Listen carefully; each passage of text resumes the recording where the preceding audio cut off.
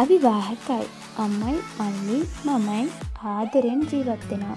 සාමාන්‍ය ජීවිතයේදී මම බටහිර විලාසිතා අනුගමනය කරනවා. කොටටත් අඳිනවා.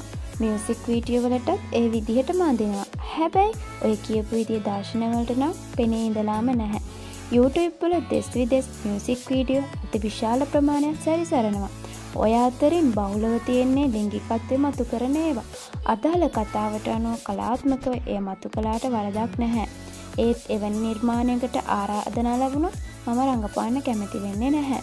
මියසික් වීඩියෝ එකක හෝ උසස් සිනමා නිර්මාණයක හෝ කවර නිර්මාණයක හෝ එවැනි දර්ශනවලට මම යන්නේ නැහැ කියන එක මගේ පෞද්ගලික ප්‍රතිපත්තියක්. මම වසර ගණනක් දෙරන නාලිකාවේ නිවේදිකාවක් විදිහට කටයුතු කළා. දැන් සියත රූපවාහිනියේ නිවේදිකාවක් විදිහට කටයුතු කරනවා. මේ වෙද්දි ටෙලිනාට්‍ය හතරක රඟපාලා තියෙනවා.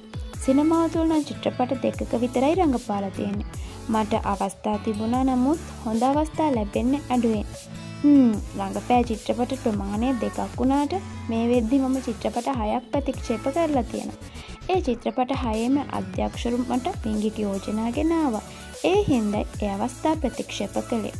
අනිත් අය ගැන නම් මම දන්නේ නැහැ. හැබැයි ඒ අධ්‍යක්ෂවරු හය දෙනාම මට කිව්වේ නිලියක් වෙන්න නම් ඒ විදිය කැපකිරීමක් කරන්න ඕනේ කියන එකයි. ඒ අතරින් පස් දෙනෙකුට මම කෙලින්ම විරෝධය එල්ල කළා. එක්කෙනෙකුට තදින් කතා කරලා බනින්නත් සිදු වුණා. නවක අය වගේම ප්‍රවීණ අධ්‍යක්ෂවරුන් එතන හිටිය. ඒ අයගේ නම් කියන එක හරි නෑ. ඒත් ශේෂත්‍රයේ ඉහළ නමක් දිනූ අය තමයි.